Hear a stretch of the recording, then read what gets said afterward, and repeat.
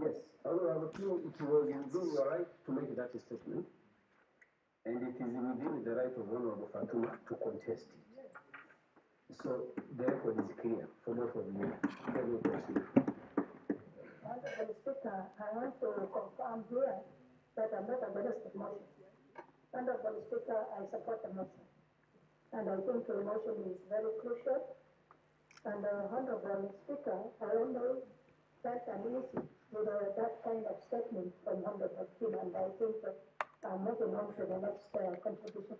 Honorable Speaker, this uh, protocol is very clear, and uh, this protocol is, has four freedoms. And the four freedoms are freedom of movement for people and goods, and service, and labor, and capital. It's called the uh, four freedoms of the protocol. Honorable Speaker, when you say freedoms, it means that it's uncontainable. It's supposed to be enjoyed fully. And Honorable Speaker, this protocol was signed by uh, five partner countries. And uh, the time it was being signed, Southern Sudan was not a partner member of this protocol. And I think um, some of the challenges were experienced in against uh, uh, South Sudan in terms of not abiding to some of these uh, protocols. Could be they need uh, uh, to be fast tracked in terms of uh, investigating some of the laws and protocols that the Eastern People community has enacted. Honorable Speaker, this uh, protocol, if you look at it, is very progressive in terms of uh, some of the obligations of the state. Honorable Speaker, it allows people to move freely in these six partner states, and definitely with the required documentation and um, abiding the national laws of each partner country. Honorable Speaker, uh, definitely the citizens of this country are not aware of these uh, rights. They are not aware of these opportunities. They are not aware of these uh, uh, progressive uh, laws that we have. Honorable Speaker, when you look at the concern, which is particularly the, uh, the motion has been largely focused, is very direct in terms of uh, what it demands for national governments to, to, to, to enable for the citizens of these countries to, to enjoy. It requires is that this, uh, it gives duties of partner states to ensure that the environment and uh, situations are enabling for the citizens to move freely, both the labor, the goods, and service and the capital. Honorable Speaker, it's very, very disheartening what Honorable Chico was explaining. And those are practical experiences that the reality and the practical and the ideals of the protocol is not being realized in our partner states. Uh, and it looks like uh, the, this thing, the protocol is a deal, and um, particularly the countries that, uh, uh, that uh, have signed I expected a non-discrimination uh, to partners or citizens of all partner states. Uh, Honorable Speaker, in reality, many discrimination, many of the citizens of this country uh, are experiencing, and they, they document it. There was a time I was reading some pa- in the paper that some of the, some uh, rights, which is secure of movement, and they can move with their goods, with their family, and with their belongings. Honorable Speaker, in reality, this is not uh, the true happenings.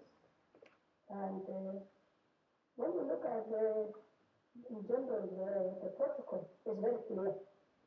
If every partner state implements to the letter, I think it will start well. Economic gains will be achieved in very fast. People will have peaceful interaction and integration. We might even have less crime if all the uh, protocol articles are implemented. Honorable Speaker, I think as a, as a, as a, assembly, which is the law-making organ of this Africa community, Honorable Speaker, I think need to, uh, for countries to follow the some of. Of course, there are statements in the protocol that, uh, demands that any partner state citizen must abide by the law of the country, might follow the rules and regulations of the country that they are moving to, but I'm sure there are very few elements that might, uh, bother the humanity, but not percentage of citizens of this country, uh, following the rules and regulation and the laws. Honorable Speaker, if this protocol is not actualized, Honorable Speaker, you might question if it's necessary to have, uh, more laws that, uh, might be left in the shelves that are not implemented. Honorable Speaker, I want to recommend that, um, we need to support, uh, South Sudan, the Republic of South Sudan, which is the new baby of, uh, East community, to be supported in order to fast track the domestication of all the relevant laws that were enacted by East Africa community, so that we are up to speed with other partner countries, so that, uh, other and our citizens who uh, want to enjoy opportunities that the protocol provides can be enjoyed. Honorable Speaker, the other issue is we might not get a lot of complaints on uh, lack of enforcement of some of the laws of East Africa. Because the people don't understand it, they are not aware, they don't know. Sometimes they don't have the confidence to petition. And Honorable Speaker, uh, since we are making uh, the, uh, during the budget making of East Africa community, I think we need to prioritize and make a priority public education of the citizens of this country so that they are aware.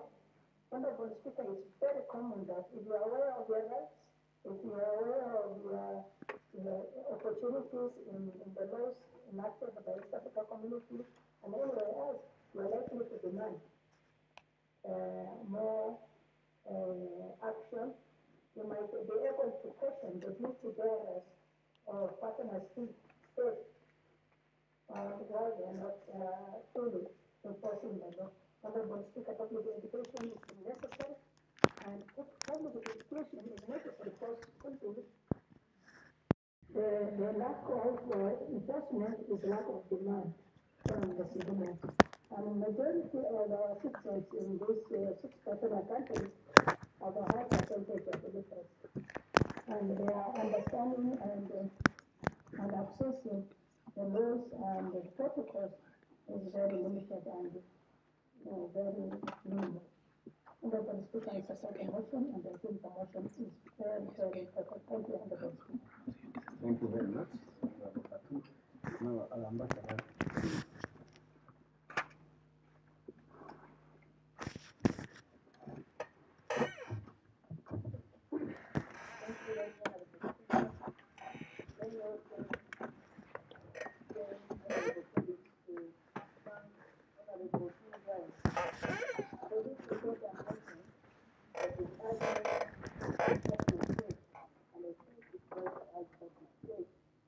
because the council is here and we are talking to the partner state through the council.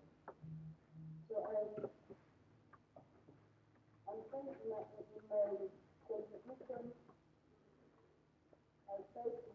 some of the to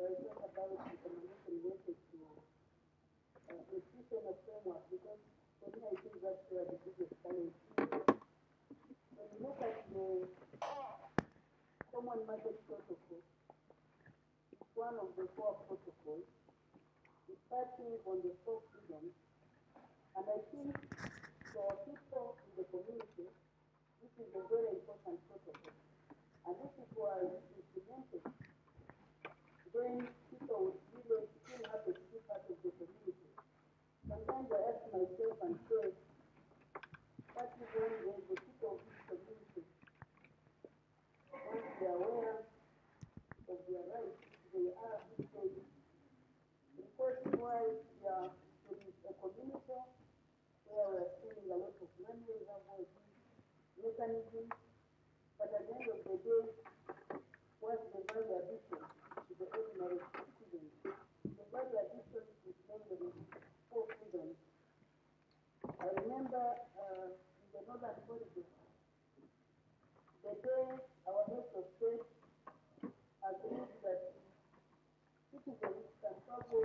one country to another country, the three countries, Uganda, Kenya, and Rwanda, using an identity card that was highly celebrated, and today, even young people as young as seventeen years have been able to cross from Kigali, Kampala to Nairobi,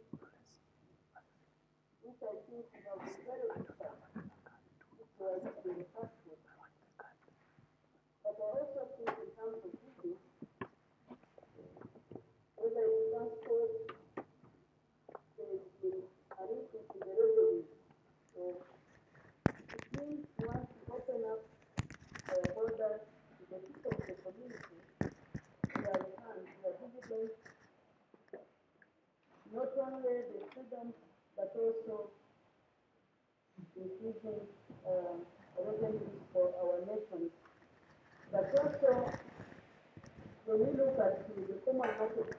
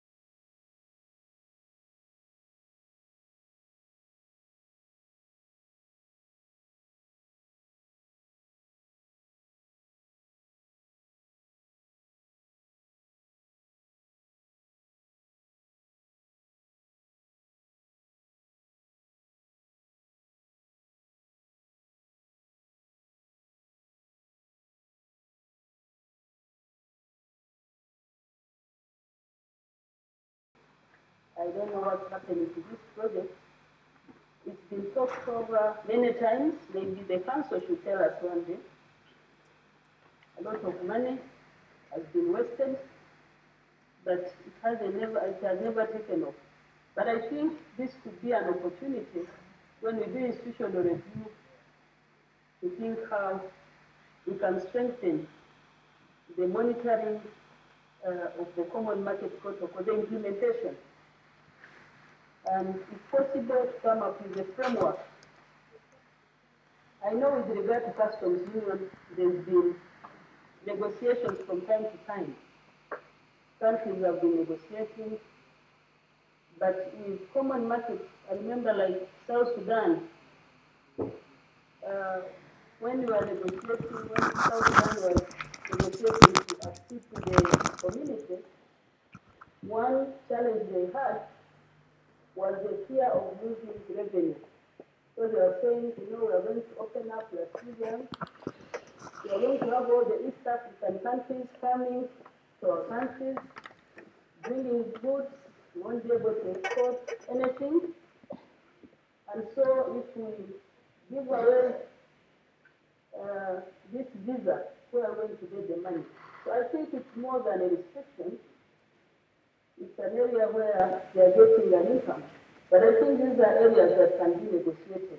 So the way we've been negotiating on the implementation of the customs union would also be the way to go when it comes to the implementation of the common market protocol.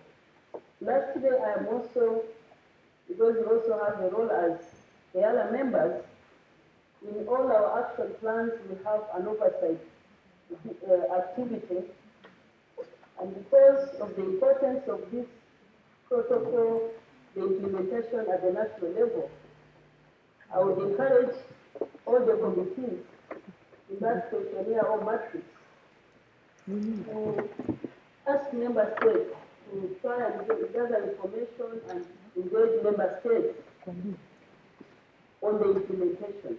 Because the more we interrogate, the more we engage member states, I think we'll be playing our role.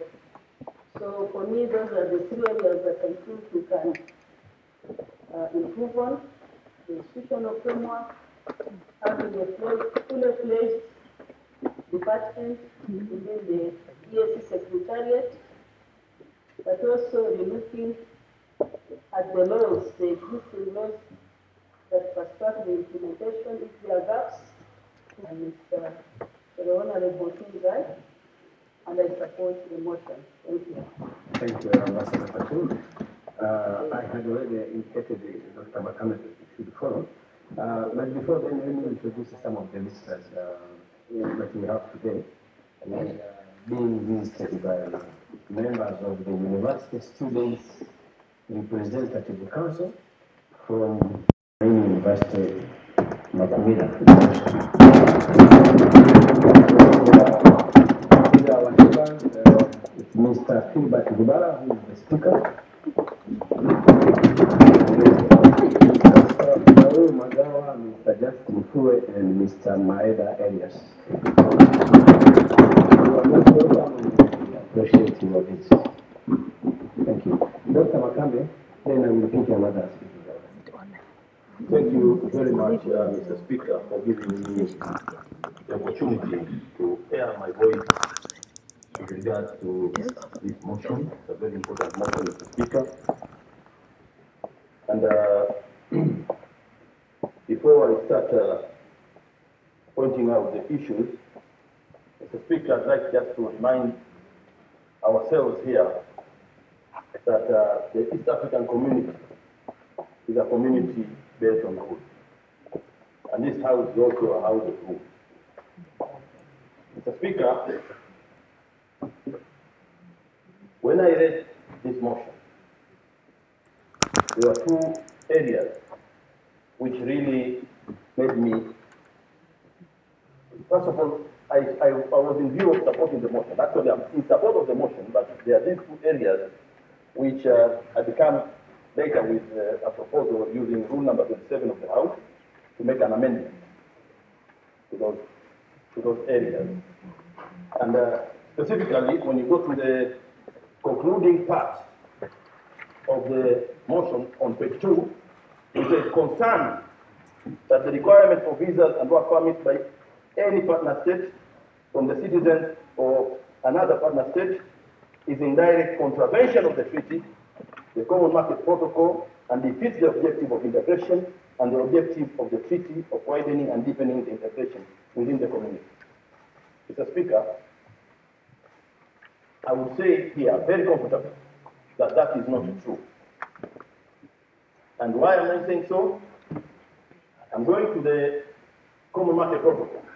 And the common Mar- market protocol has its regulations. Regulation one talks about free movement of persons regulation, which is Annex one. Annex two, it talks about free movement of workers and labor. Annex three talks about rights of residence, and Annex four talks about right of establishment. Mr. Speaker, I'd uh, call the attention to Regulation 6, Annex 2, and I'd beg, I'd beg to read it in, in front of the House. Regulation 6, which uh, is uh, Procedure of Acquiring Work Permit. That is the title. It says Procedure of Acquiring a Work Permit.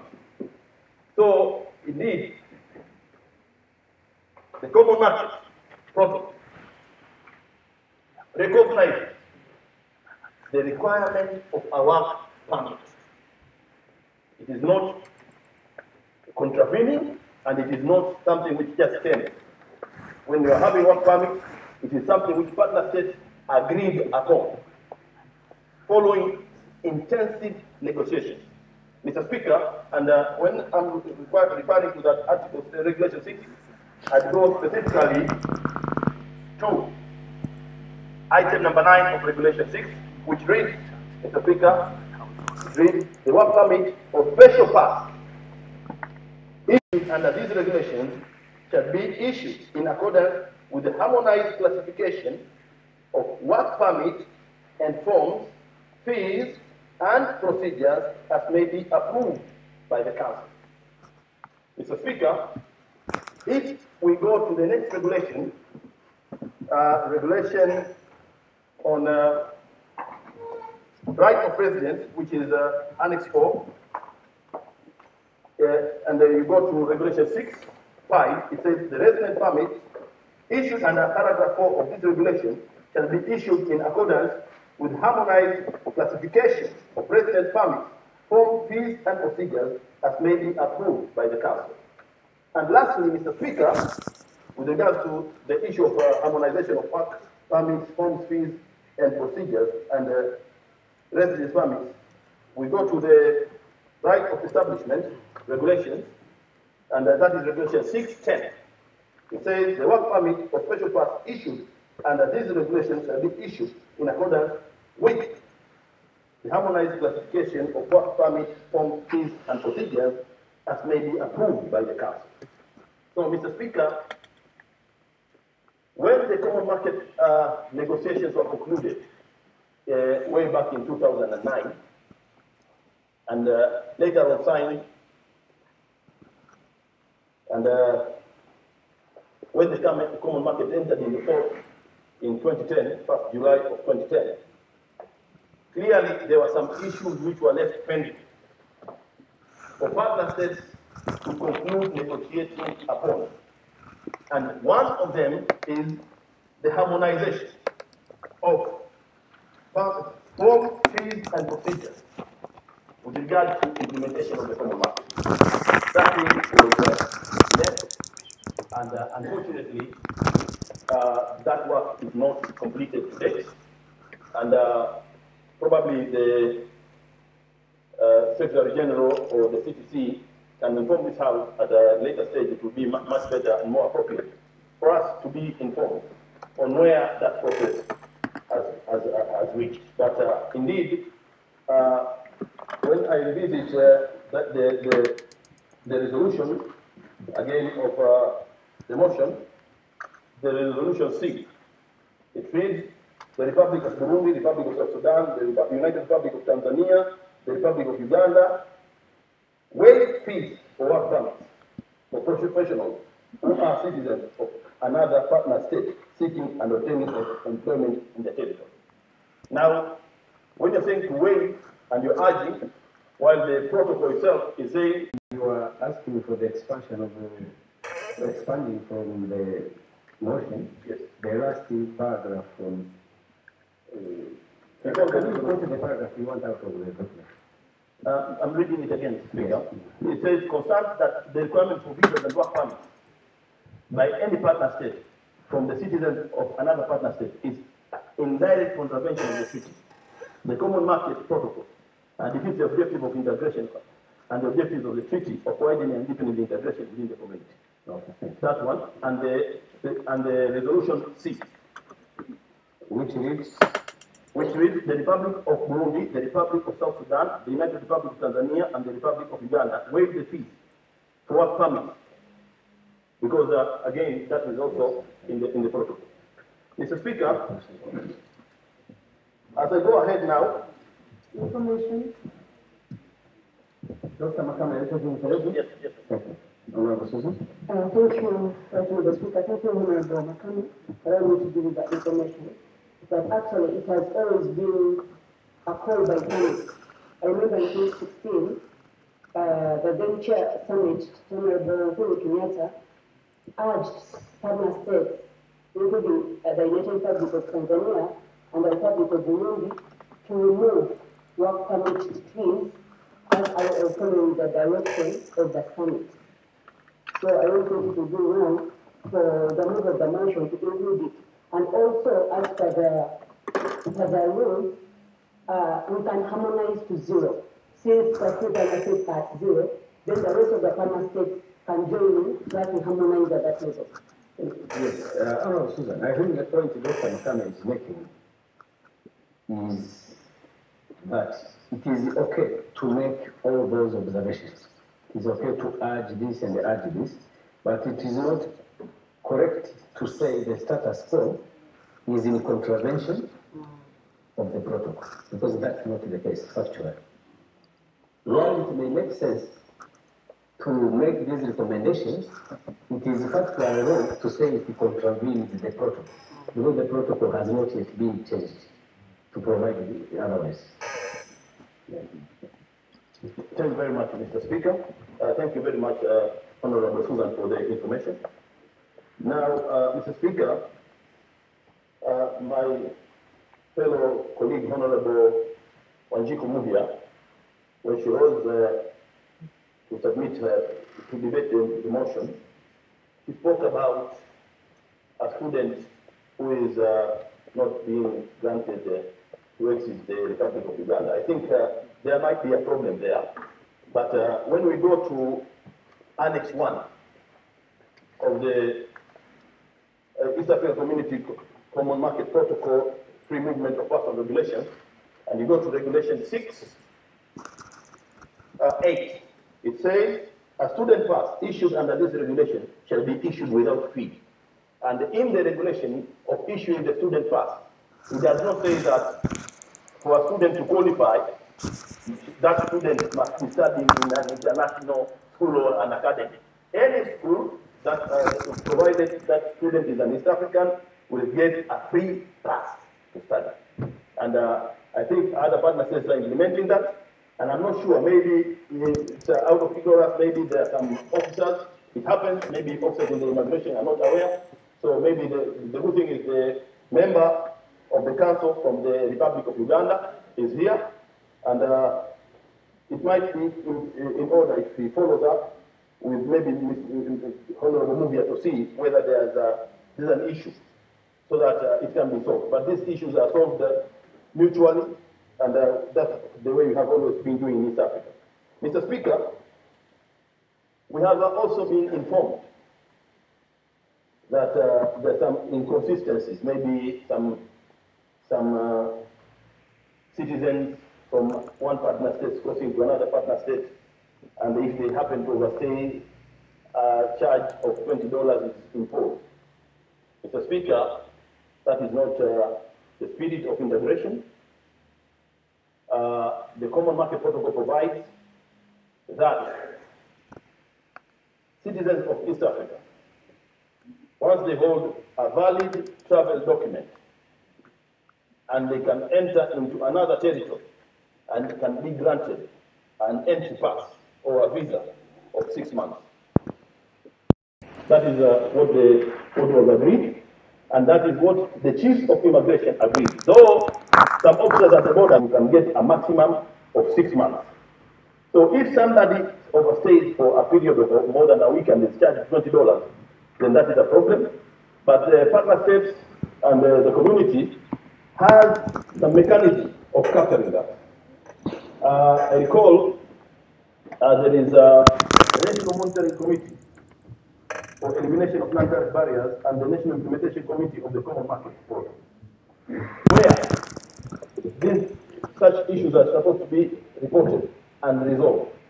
But if the, such issues have not been reported and they've been brought to the House, then we ought to engage the Council and to see whether the council is aware of these things and uh, the council can actually expedite the to, to remove such barriers and impediments for free movement of people.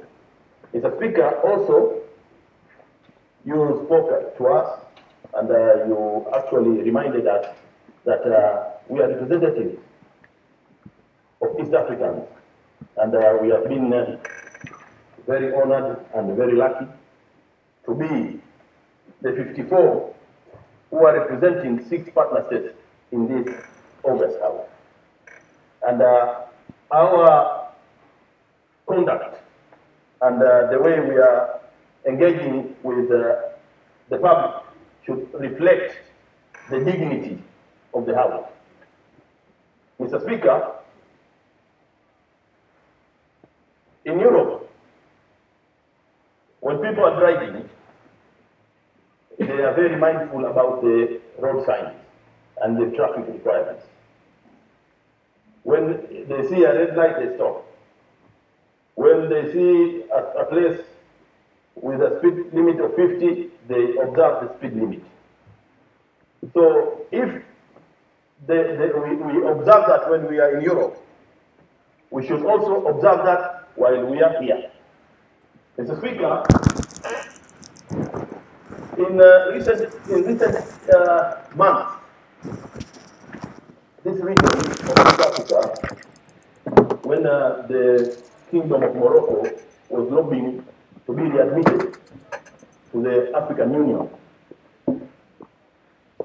the King of Morocco toured the region. And when he came, there was a person who was supposed to go into his delegation in the Republic of Rwanda. And that person was seen speeding. And uh, just before entering the airport, that person was arrested. And he was wondering where this officer who came to arrest him had the information or received the information. But uh, when the king heard of that information, he was very happy that uh, actually the rules are being followed, and even if a person is, is, running to go and accompany or to go into the delegation of the king, so long as he's not in the motorcade, then the traffic uh, uh, regulations and rules apply. So, with that, and uh, really, I'm not sure, I mean, how it happened that a police stops a, a, a vehicle and then that police asks for money. But I'd really like to know the conditions. Why uh, a police would stop someone and then ask for money. Actually, in Tanzania, uh, uh, as far as I'm informed, is that there are some places where if you overspeed, you'll be stopped. And uh, if you, you've been stopped, you'll be given a notification, you have to pay 30,000 per one per, per, per offense. So if there are five offenses, you pay 30 times 5, which is 150,000. So maybe now, if the culprit is entering into negotiations with a police officer, then that is a private affair. But uh, actually, what is supposed to happen is uh, a, a person is charged and pays, and that money goes into the government, and that person suffers the financial penalty so that in future that person uh, restrains from committing offense. Mr. Speaker,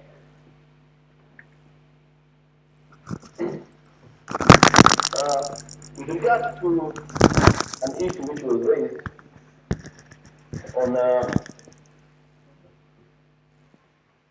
on arrest of some of East Africans, Mr. Speaker, we we saw Uh, Dr. Makame can point of order, Honorable Speaker. Is Honorable Makame responding to the member's contribution or is contributing to the motion? Because the big member on responding to the member's contribution as well as his statement for, for, for, for, for, for the government of Tanzania. Uh, Honorable because uh, there was a member who referred to an incident, and I was very alert of that. He referred to an incident and he gave limited information. Said uh, came across a situation where uh, he was asked, asked. So we didn't want to take it further. But we reminded, that according to uh, 45, every member takes the responsibility of the statement he makes.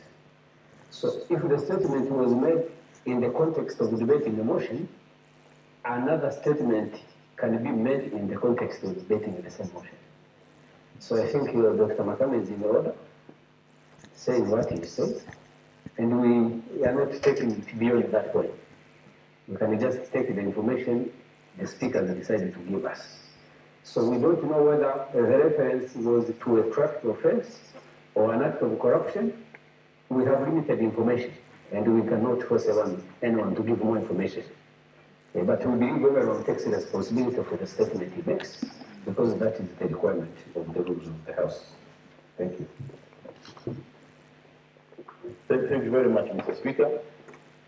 Mr. Speaker, uh, so I was concluding, but, uh, you know, the information provided by Honorable Nuru, uh, It was not an information, it was a point of order, and I have ruled about it. So it's not for you to address it again. uh, about the spokesman, the spokesman, Mr. Mr. Speaker, that actually I'd like to, actually, be record and responsible of that. What, what is that? He said that I'm, I'm speaking as a spokesman of the United Republic of Tanzania. Uh, is that East Africa? Are is not a correct interpretation. So what he said is, is on the record, and what I have said is on the record. Thank you very much, Mr. Speaker. Uh, Mr. Speaker, I was to conclude with the issue of uh, uh, arrest of some uh, citizens of East Africa. And uh, when uh, in such an incident occurred, we saw an expeditious action from diplomatic channels, where uh, those uh, arrested were documented and uh, were given support to come out of the rescue, the detention. So that was uh, actually in order. The, the partner state that was committing such a, an, an act of arrest was acting within the jurisdiction of the national laws, which are also not infringing the, the, the, the, the common market. But uh, what was required was uh, an, a speedy action of humanitarian uh, uh, cause to remove the people from detention. And uh, in future also to avert such an action that would follow. So, Mr. Speaker, from such an action which I saw from the dip- diplomatic angle, uh, I saw the spirit of integration, the spirit of brotherhood, and uh, I believe at the moment that that uh, negative cloud which was uh, coming on top of East Africa has uh, been uh, and uh, we will continue integrating, Mr. Speaker. And uh, as we say, the, the, the, the- our motion here, sorry, our the, the spirit of integration is one people, one destiny. So we will achieve that, Mr. Speaker. And uh, thank you very much, Mr. Speaker, for the for the opportunity. Thank you. Thank you, Dr. Makame. Uh, Honorable Abdul Kadir, Honorable Dr. Umu, Honorable Honorable Ujeni, I will proceed.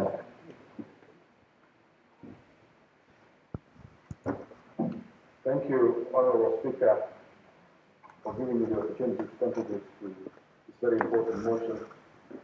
And on the onset, I also want to join my colleagues in thanking Honorable Kim Gai for bringing this important issue of interest to the people of East Africa to be pronounced, or this House to make pronouncements to it by way of resolution.